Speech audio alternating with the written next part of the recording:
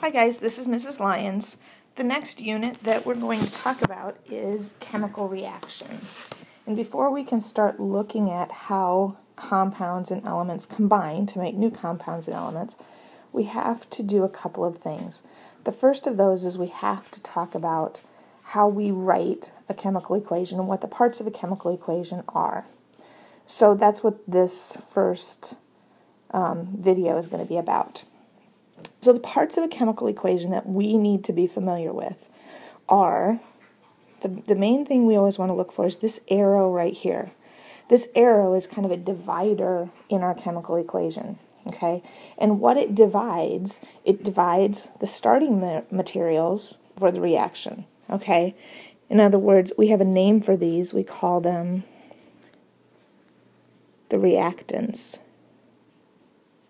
So anything on the left side of the arrow is a reactant, and each individual element or compound is divided by a plus sign. Okay, so that means that NaCl is one thing, AgNO3 is another thing. Those two things are going to combine.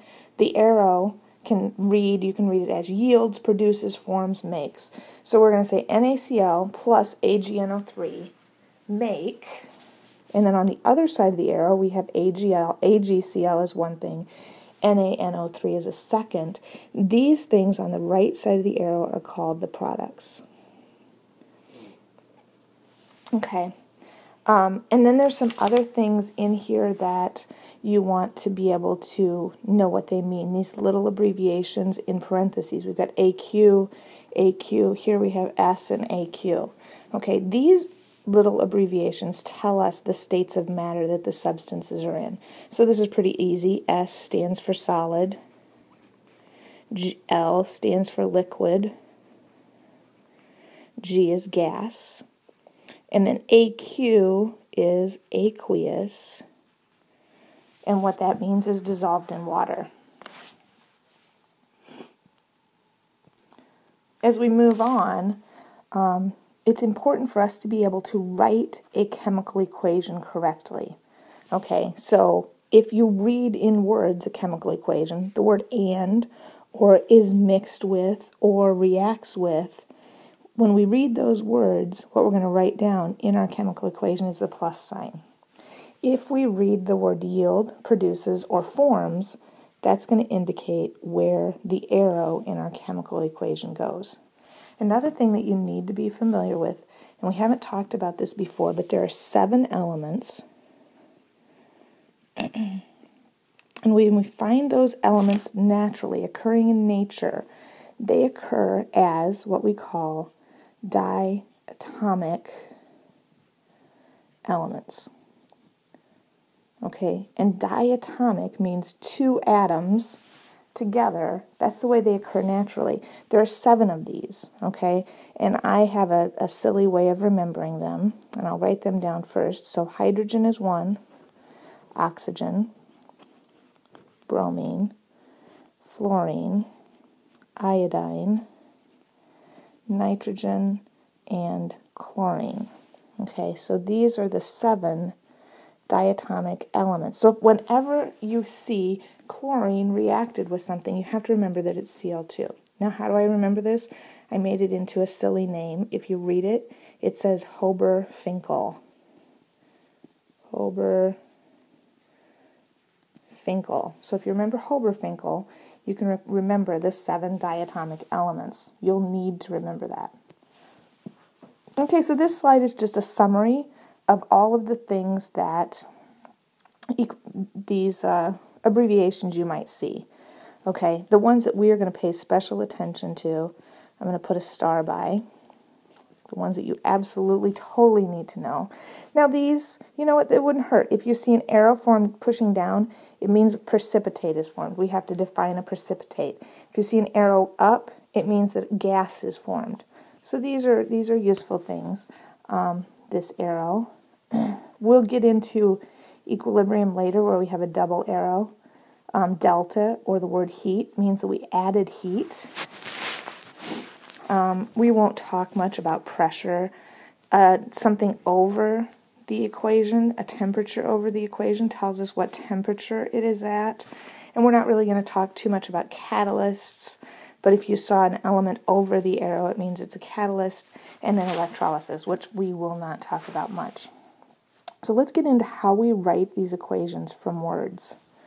All right, so here we have a sentence. Aluminum metal is reacted with aqueous hydrochloric acid to form solid aluminum chloride and hydrogen gas. So we need to put this into a chemical equation. Okay, so first we need to underline our the things that are involved. So we've got aluminum and then we've got hydrochloric acid to form aluminum chloride and hydrogen gas. Okay, here's some important things. Is reacted, that means that's plus um, with aqueous hydrochloric. To form, that's where our arrow is going to go, aluminum chloride and, okay, so let's start taking this apart. Aluminum metal, we have to know the symbol for aluminum is Al. The word metal tells us what state it's in. We know that at room temperature, aluminum is a solid. Is reacted with, we said that's the plus sign.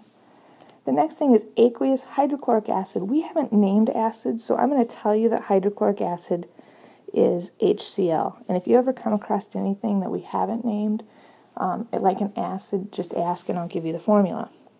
It says it's aqueous, so AQ, all right.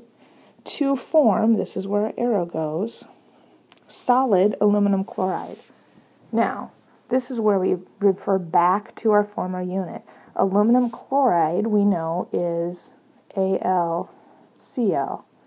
This is an ionic compound. Remember, when it's ionic, you can't just write the letters down. You have to think that aluminum has a plus 3 charge, chlorine has a minus 1 charge, if we crisscross these, we get AlCl3. And notice it says it's solid. And then we form hydrogen gas. Now, am I going to write this just this way? No, I'm not, because hydrogen is one of the Haber-Finkel elements. It means it's a diatomic at room at when it's formed naturally, and it's a gas. So this would be a complete written in chemistry terms chemical equation. All right, let's try a second example.